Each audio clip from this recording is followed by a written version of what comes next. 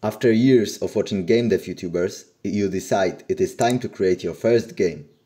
Everything went smoothly, until you had to fill in the argument with data type, quaternion. You heard this word somewhere. Between top-down movement tutorial and 26 Unity game jam. You Google it up. She didn't have to cut me off. Think I like it never happened, that we were nothing. How can I possibly understand this? The short answer is you can't. But you don't have to.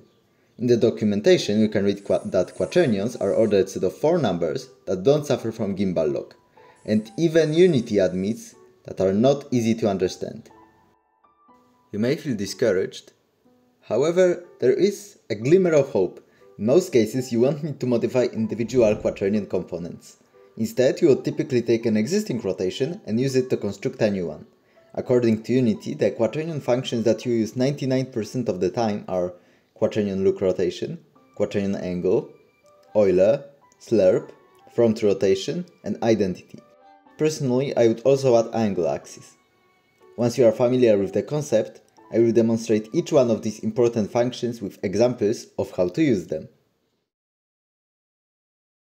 The simplest one is the identity rotation, which means no rotation at all it just aligns with the word or parent. In the game I'm working on, I use it as the rotation of spawning ships, as I want them to always face down, as facing down is their default orientation. It is very similar in use to identity, but remember, when you retrieve, modify and reapply rotations, you can make your game look like this. So never use them to modify existing rotation. Instead, only use them to set a new one. A good example of usage is in my top-down movement tutorial. I use them to make the player always face the direction of which is moving, by getting the angle of the desired movement and setting the Euler z-axis to it.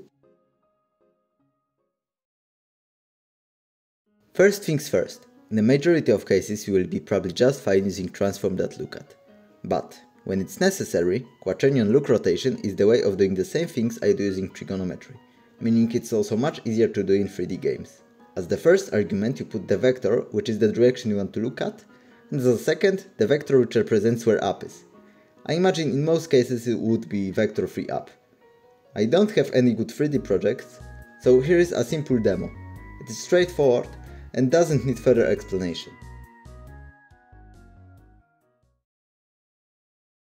Extremely easy to understand, it just returns the angle between two rotations. To be honest, I only use the vector version of it, but I can imagine using it to check if two objects are looking at each other. But I will probably just use Farcasters. Think about it as storing d rotation rather than just an angle value. To achieve this, you feed these functions two directions, stored as vectors, and you get the rotation between them. I can't think of a good reason why you would use it in a 2D game, so let's dive into a specific example in 3D environment. We have a world, and we want to align a cube to one of its faces. We begin by raycasting from bottom of the cube and obtaining a vector perpendicular to the hit point. Then, using quaternion FromToRotation, we can create a rotation that ensures that the object aligns perfectly with the face it intersects. I can't understand why nerds from Unity docs skip this one. Maybe I am retarded, but I use it quite often.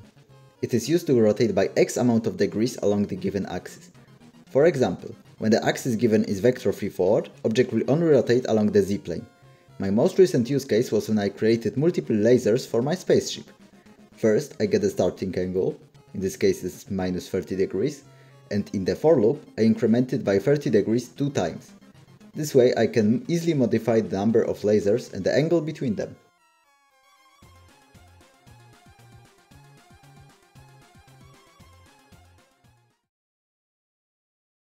Spherically interpolates between quaternions A and B by ratio t. The parameter t is clamped to the range 0 to 1. But what does it mean? All previous rotations were sharp. The Slerp function is the solution. When t is approaching 1, the value is getting closer to b.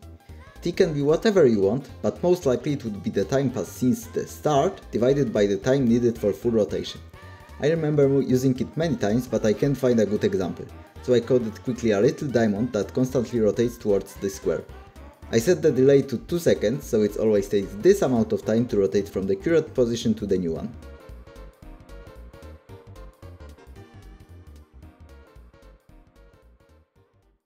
I hope these examples had helped you understand the basic concept of rotation in Unity and if you have any questions, leave them in the comments below and I will try to respond as soon as possible. This was Unity Forge and thank you for watching.